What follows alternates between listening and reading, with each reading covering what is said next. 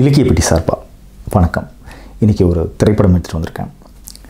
நசீர் ரொம்ப முக்கியமான திரைப்படம். இன்றைக்கி மும்பை ஃபிலிம் ஃபெஸ்டிவல் அப்புறம் விஆர் ஒன் ஃபிலிம் ஃபெஸ்டிவலில் யூடியூப்பில் ஸ்ட்ரீம் ஆகி முடிஞ்சிருக்கு. இந்த லிங்க் வந்து நாளைக்கு ஈவினிங் வரைக்கும் இருக்கும் நான் நம்புகிறேன் அதுக்குள்ளே பார்த்துருங்க அதுக்கப்புறமா அந்த லிங்க் வந்து ரிட்டையர் ஆகிடும் அருண் கார்த்திக் அவர்கள் இயக்கியிருக்காரு இந்த படத்தை.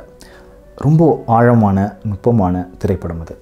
இன்றைக்கி இருக்கிற இந்தியா போன்ற ஒரு பெருநகரத்தோட தட்பவெட்ப சூழ்நிலையில் இந்த படம் பெரும் அளவில் ஒரு ஒரு மனவெழுச்சியை ஏற்படுத்தும் சொல்லலாம். டெக்னிக்கல் ஆஸ்பெக்ட்ஸில் இந்த படத்தை எடுத்துக்கிட்டோம்னா நிறைய லேர்னிங் இருக்குது ஒரு அசிஸ்டன்ட் டேரக்டராக ஒரு சினிமா லேர்னராக இல்லாட்டி ஒரு படத்துக்குள்ளே வரணும் அப்படின்னு எத்தனிக்கிறவங்களுக்கு இந்த படம் வந்து நிறைய விஷயங்களை தெரிஞ்சுக்கவும் வைக்கும் கத்தும் கொடுக்கும். இந்த கதை வந்து திலீப் அவர்கள் எழுதி எ கிளக் ஸ்டோரி அப்படின்ற ஒரு கதையை தழுவப்பட்ட ஒரு திரைப்படமாக இயங்கியிருக்காங்க. கோவை பேஸ் பண்ண கதை தான் அது. கதைக்குள்ளே போகும்போது நசீரோட டான்லேருந்து டஸ்க் வரைக்கும் அவருடைய வாழ்வியலை இந்த கதை வந்து ரொம்ப லைட்டிங்காக சொல்லியிருக்காங்க. இந்த படத்தோட கட் ஃபஸ்ட்டு ஷாட்டே வந்து பார்க்கும்போது ஒரு டாப் ஆங்கிளில் நசீர் தூங்கிட்டு இருப்பார் தூங்கிட்டு இருக்கும்போது அந்த அவரோட ஸ்க்ரீன் ஆடிக்கிட்டு இருக்கும்போது அந்த வெளிச்சம் மூடுருவி அவர் மேலே போடும். ஒரு ஒன்றரை நிமிடங்களுக்கு அந்த ஷாட் அப்படியே இருக்கும்.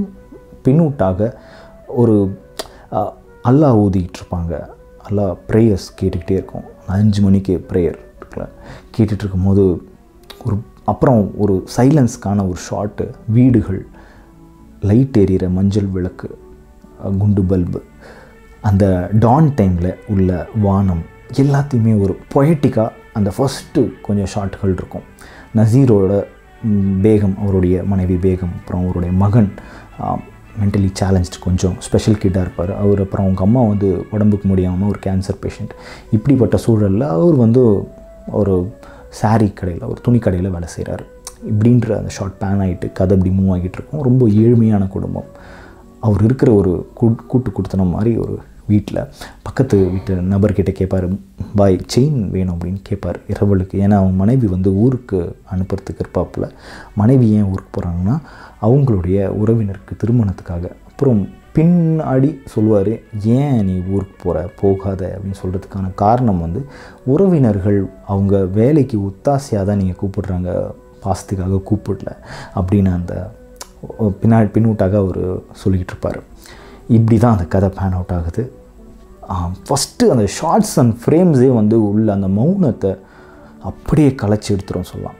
அந்த மௌனத்தை நம்ம கிட்ட கொண்டு வந்து சேர்த்துறோம் மௌனத்தை சில இடங்களில் கலைச்சிரும். அந்த சில ஷார்ட்ஸ் மூலியமாக. அதுக்கப்புறமா பேகம்க்கும் நசீருக்கும் உண்டான காதல். நசீர் வந்து ஒரு கவிதை எழுதக்கூடிய நபர். ரொம்ப அழகாக தனிமையை பற்றின கவிதைகள்லாம் எழுதுவார். அப்படியே போயிட்டு இருக்கும்போது ஒரு உட்காந்துட்டு இருப்பார் ஒரு ஃப்ரேமில் மனைவியை வந்து பஸ் ஸ்டாண்டில் விட்டு. அந்த ஷார்ட் மட்டும் நீங்கள் பாருங்கள் கேண்டிடாக எடுத்திருப்பாங்க. எல்லாம் ஒரு ஒயிட் லென்ஸ் போட்டு கேண்டிடாக நசீர் வந்து அந்த லைட்லேருந்து வெளியே வர ஒரு ஸ்டாட்டிக்காக வச்சுட்டு ஒரு சப்ஜெக்டை உள்ளே கொண்டு வர்றது. லைட்டிங் வந்து காலையில் ஒரு அந்த டான் டைம்லேருந்து நைட்டு வரைக்கும் முன்னான லைட்டிங் அப்படியே இருக்கும். சில பேராச்சும் ஏதாச்சும் சீட் பண்ணுவாங்க ஆனால் சீட்டிங்கே கிடையாது. எக்ஸப்ட் அந்த ஒரு ஸ்கூல் ஷாட்டில் மட்டும் கொஞ்சம் இருந்தது. ஆனால் மற்றபடிக்கு அந்த timing ten o'clock sunlight எப்படி இருக்கும் நைன் ஓ கிளாக் சன்லைட் எப்படி இருக்கும் அப்படியே அணுவணுவாக அப்படியே பர்ஃபெக்டாக எடுத்திருப்பாங்க அந்த படம். ஒரு காலையிலேருந்து ஈவினிங் வரைக்கும் ஒரு வாழ்வியில் பார்த்த ஒரு அனுபவம் அந்த படத்தில் இருக்கும் நசீரில். நசீர் கதாபாத்திரத்தை கேரி பண்ணவரே ரொம்ப இயல்பாக நான் ஒரு துணிக்கடையில் போய் ஒரு நபரை நம்ம பார்க்குறோம்ல அந்த மாதிரியான ஒரு ஃபீல் இருக்கும். படத்தை அணுகின விதமே ரொம்ப அற்புதமாக இருக்கும். தேர்ட்டி ஃபைவ் எம்எம்மில் படம் ஒரு ஸ்கொயரில் தான் இருக்கும். ஒரு டல்லான மூமெண்ட்ஸு ரொம்ப ஸ்ட்ரங்டான ஒரு விஷயம் அப்படின்ற ஒரு மெட்டஃபரிக்கலாக சொல்ல வகையில் தான் அந்த ஃப்ரேம் வச்சுருப்பாங்க. ரொம்ப ஸ்டா ரொம்ப ஸ்கொயரிஷ் ஃப்ரேமாக இருக்கும். ரொம்ப அற்புதமான ஃப்ரேம் அது ஒரு தேர்ட்டி ஃபைவ் எம்எம் ஃப்ரேமு அதில் வந்து அந்த சில வாக்ஸு அந்த ஸ்ட்ரீட்ஸில் போகிறது நசீர் பயணிக்கிற இடம் எல்லாமே நேரோவாக இருக்கும். எல்லாமே ஒரு மெட்டஃபிரிக்கலான ஒரு விஷயங்கள் சொல்லிக்கிட்டே இருக்கும். நீங்கள் கோவை சார்ந்து இருக்கீங்க இல்லை கோவையில் உங்களோட நேட்டிவாக இருக்க இல்லை இன்னும் இருக்கிறீங்க அப்படின்னாக்கா இந்த படம் பார்த்தீங்கன்னா உங்களோட லேண்ட்ஸ்கேப்பை இவ்வளோ அழகாக காமிச்சிருப்பாங்க. ரொம்ப கேண்டிடாக மார்க்கெட் பிளேஸையும் சரி பஸ் ஸ்டாண்டையும் சரி காமிச்சிருப்பாங்க. இந்த கதை அப்படியே பேன் அவுட் ஆகுது. ஒரு இடத்துல உட்காருவார் மனைவியை பஸ் ஏற்றி விட்டுட்டு ஒரு ஃப்ரேமில் உட்காருவார்.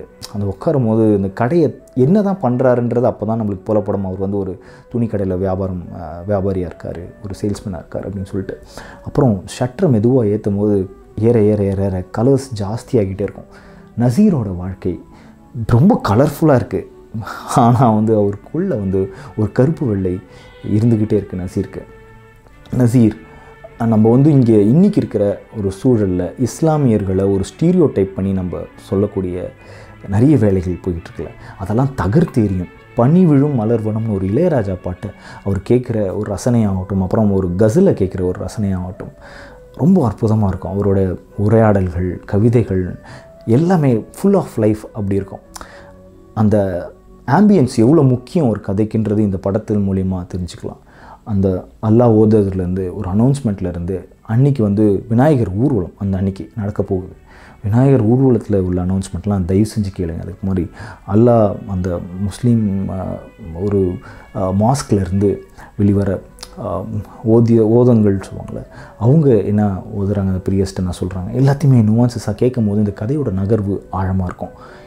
நா நாசிர் வந்து ஒரு இடத்துக்கு போயிட்டு கூட்டம் கொடுத்துட்டு காசு வாங்கிறதுக்கு வருவார்.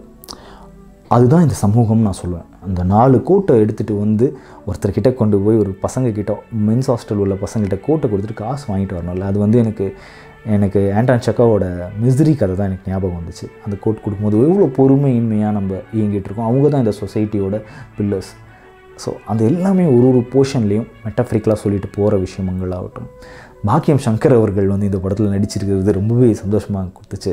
பெரிய ரைட்டர் தமிழில். அவர் நடிச்சிருந்தாங்க.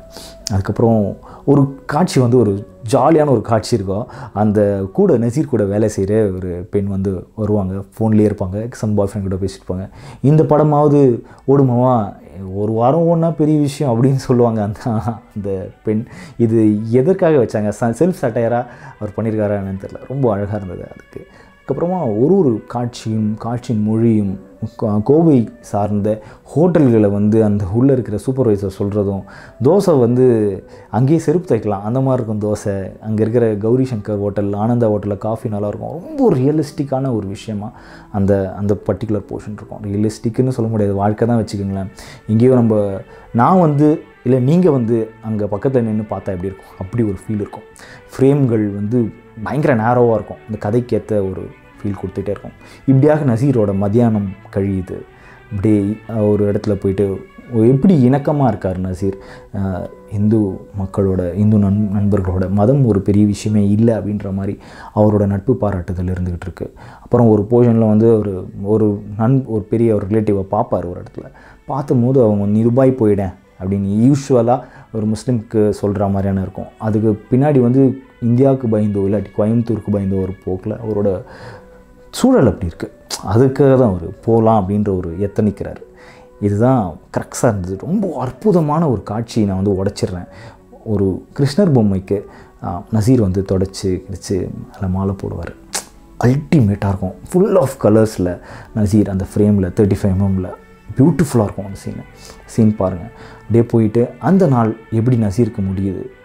கிளைமேக்ஸ் ஷாட் வந்து ஒரு நியர்லி டூ அண்ட் ஆஃப் மினிட்ஸ்க்கு ஒரு ஷாட் வச்சுருப்பாங்க. அந்த ஷாட்டு தான் வந்து நான் எல்லாரையுமே சிந்திக்க வைக்கும்னு சொல்லுவேன். எனக்கு ரொம்ப பதபதப்பாயிடுச்சு அந்த ஷாட் பார்க்கும்போது. எனக்கு இந்த படம் முடித்த பிறகு கரீம் ஆ கரீம் அவர்கள் எழுதின தாளிடப்பட்ட தாழிடப்பட்ட கதவுகள் எனக்கு எதிரொலிச்சிக்கிட்டே இருந்தது. கோவை சார்ந்த எழு எழுதிய கதைகள் தான் அது. எல்லாமே அவ்வளோ ஃபுல் ஆஃப் மைண்டாக ஃபுல் ஆஃப் ஜாயாக இருந்தது ஃபுல் ஆஃப் லேர்னிங்காக இருந்தது இந்த படம். அதே மாதிரி நிறைய என்லைட்மெண்ட் இருந்தது. மதம் சார்ந்து எழுகிற கேள்விகளும் சரி வாழ்வியலும் சரி ஒரு கோயம் கோயம்புத்தூரில் ஒரு மார்க்கெட்டுக்குள்ளே போயிட்டு வெளியே வந்திருக்கேன். அப்படி ஒரு ஃபீல் கொடுக்குது. இந்த படத்தை தயவு செஞ்சு மிஸ் பண்ணாதீங்க. எவ்ரி ஆஸ்பெக்ட் இந்த படத்தில் லேர்னிங் இருக்குது ஃபிலிம் மேக்கிங் வைஸ் நிறைய ஒன்றுச்சு கவனிங்க. நிறைய க்ளோஸ்அப்ஸ் வந்து அற்புதமாக இருக்கும். க்ளோஸ்அப்ஸ் வச்சுருக்கிறது ஏன் வச்சுருக்காங்கன்ட்டுலாம் யோசிச்சு பாருங்கள் அவரோட டாக்ஸ்லாம் கேளுங்க. இந்த படம் முடிச்சிட்டோன்னே நிறைய கிடைக்கும் உங்களுக்கு டெஃபினட்டாக